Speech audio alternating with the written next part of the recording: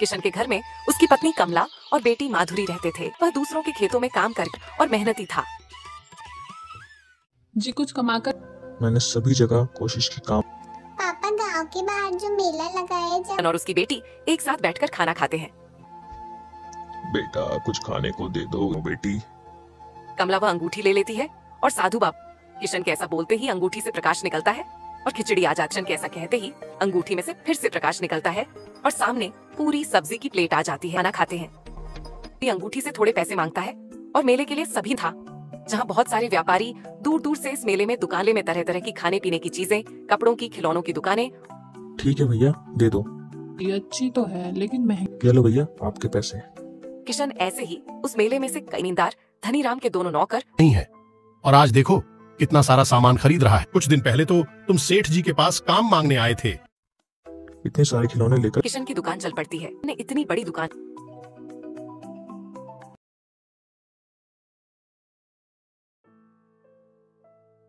अरे घनश्याम भाई तुमने सुना हमारे दोस्त किशन ने?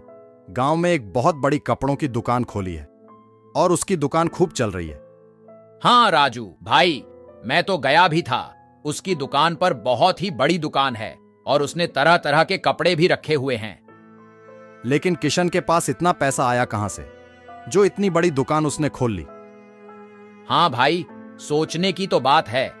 मैं भी खुद का एक छोटा व्यापार खोलना चाहता हूँ लेकिन मेरे पास तो पैसे ही नहीं हो पा रहे हैं। भाई तुम किशन से पैसे क्यों नहीं मांग लेते हैं? वह बहुत ईमानदार और दिल का बहुत अच्छा है और वह हमारा दोस्त भी है तो वह मना नहीं करेगा। हाँ भाई तुम सही कहते हो। मुझे उससे मदद मांगनी चाहिए। वह दिल का अच्छा है। मना नहीं करेगा। हाँ भाई मुझे भी अपना काम खोलना है। लेकिन मैं भी बस पैसों के चक्कर में नहीं खोल पा रहा हूँ। किशन वहीं से होकर गुजर रहा था कि राजू ने उसे आवाज़ लगाई। अरे किशन भाई हमने सुना तुमने गाँव में बहुत बड़ी दुकान खोली कपड़ों की। हाँ भाई और मैं अभी तुम लोग के पास ही आ रहा था। मैंने दुकान खोली है और उसमें मुझे काफ़ी मुनाफा भी हो रहा है। मैंने ये कैसे खोली है? तुम लोगों को भी बताना चाहता हूँ। तुम लोग मेरे सच्चे दोस्त हो तो मुझे यकीन है कि तुम यह बात किसी को नहीं बताओगे। कुछ दिन पहले हमारे घर एक साधु बाबा आए थे। किशन सबको उस जादुई अंगूठी के बारे में बताता है। अच्छा तो यह सब उस जादुई अंगूठी की वजह से हुआ है? हाँ भाई यह सब उससे ही हुआ है। और मैं कहना चाहता हूँ कि आप लोगों को भी अगर कोई काम खोलना हो तो आप मुझसे आकर पैसे ले सकते हैं और वह पैसे मैं वापस भी नहीं लूँगा। वाह भाई किशन तुमने यह बात कहकर तो हम लोगों का दिल ही जीत लिया। ऐसे ही सारे लोगों ने किशन से पैसे लेकर गाँव में अपनी अपनी दुकानें खोल ली। और इसी तरह किशन अपने साथ साथ गाँव वालों की भी मदद करता है।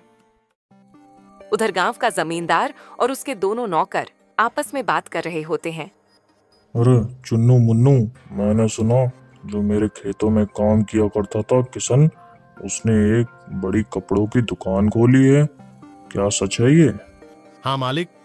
सुना तो हमने भी है कि किशन खूब पैसे कमा रहा है उस दुकान से। हाँ मालिक मैंने तो देखा भी है जाकर उसकी दुकान पर। वह खूब बड़ी दुकान है कपड़े की। मालिक हमने उसे कई दिनों पहले गाँव के बड़े मेले में भी देखा था। वह भी काफ़ी सारा सामान खरीदते हुए।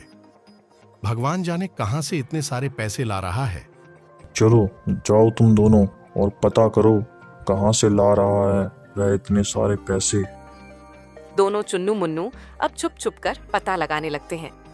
कब किशन घर आता है कब जाता है यह सब कुछ। एक दिन रात में किशन घर आता है और वह अपनी पत्नी से बात करता है। कमला अब मैं यह अंगूठी उतार देता हूँ। हमने काफ़ी कुछ इस अंगूठी से मांग लिया है। और अब हमारा कपड़ों का भी काम काफ़ी अच्छा चल रहा है। मैं चाहता हूँ जैसे इस अंगूठी ने मेरा भाग्य बदला है और किसी गरीब का भी हक है कि वह भी सुख चैन से रोटी खाए। तो मैं यह अंगूठी किसी ईमानदार और गरीब व्यक्ति को देना चाहता हूँ। हाँ यह तो आपने बहुत अच्छा सोचा है। घर के पास से दोनों चुन्नू मुन्नू ये सुन लेते हैं और सेठ के पास आकर सब कुछ बताते हैं। अच्छा तो यह सब उस जादुई अंगूठी की मदद से कर रहा है। मुझे यह समझ नहीं आ रहा है कि अंगूठी उसको पैसे कैसे दे रही है।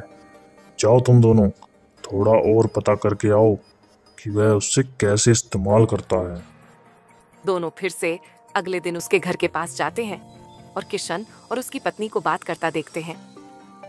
जी सुनिए मुझे गुलाबी रंग की साड़ी चाहिए। वह अभी नई निकली है। अरे तुम्हारे पास तो बहुत सारी साड़ियाँ हैं।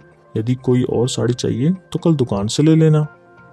नहीं जी आप उस अंगूठी से मांग लीजिए ना। मैंने दुकान में देखा है वहाँ वैसी साड़ी नहीं है।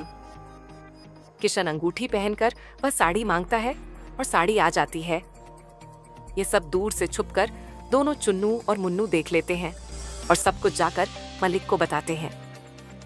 अच्छा तो कुछ भी मांगने पर वह अंगूठी तुरंत वह लाकर दे देती है। अच्छा ठीक है। तुमने बताया कि वह रात में अंगूठी खोलकर मेज पर रखता है। ठीक है तो मैं रात को जाकर उस अंगूठी को चुरा लूँगा। रात में धनीराम चुपके से किशन के घर घुस जाता है और मेज पर वह अंगूठी देखता है। ओ यह अंगूठी है। यह तो बहुत चमक रही है। यह ज़रूर जादुई अंगूठी है। धनीराम अंगूठी लेकर घर आता है अब मैं इसे इस्तेमाल करूँगा और खूब सारा सोना मांगूँगा और बहुत ज़्यादा अमीर हो जाऊँगा। हे अंगूठी मुझे बहुत सारा सोना और धन दो। धनीराम के इतना कहते ही अंगूठी में प्रकाश हुआ और धनीराम का पूरा हाथ जलने लगा और उसमें लाल लाल दाने हो गए। आ, अरे यह क्या हो गया? मेरा तो पूरा हाथ जल गया। धनीराम अंगूठी को वहीं फेंककर सीधा डॉक्टर के पास जाता है। डॉक्टर उसके हाथ की पट्टी कर देता है और दवाई देता है। अरे ये तो काफ़ी गहरा जख्म है और इसे भरने में एक महीने से ऊपर का समय लग सकता है तो आप इस हाथ का इस्तेमाल नहीं करना। धनीराम वहाँ से घर आता है और अंगूठी लेकर सीधा किशन के यहाँ जाता है। किशन भाई मुझे माफ़ कर दो। मुझे लालच ने अंधा कर दिया था। मैंने तुम्हारी यह अंगूठी चुराई और मुझे मेरे कर्मों का फल मिल गया। यह लो तुम्हारी अंगूठी। इतना कहकर धनीराम वहाँ से चला जाता है। कमला हमें जल्द से जल्द उस अंगूठी के लिए किसी गरीब मददगार व्यक्ति को ढूंढना पड़ेगा। हाँ आप सही कहते हो। दोनों बात कर ही रहे थे कि बाहर एक बूढ़ा व्यक्ति आता है और वह खाना माँगता है। दोनों पति पत्नी बाहर उस व्यक्ति को खाना देते हैं। वह व्यक्ति खाना खाता है। किशन उसे वह जादुई अंगूठी भी दे देता है। और उसके बारे में सब कुछ बता देता है। वह व्यक्ति अंगूठी लेकर चला जाता है और थोड़ी दूर जाकर वही साधु के रूप में आ जाता है, जिस साधु ने वह अंगूठी दी थी। इस तरह किशन ने अपने घर के हालात सही करे और अपने साथ साथ गाँव के लोगों की भी मदद की।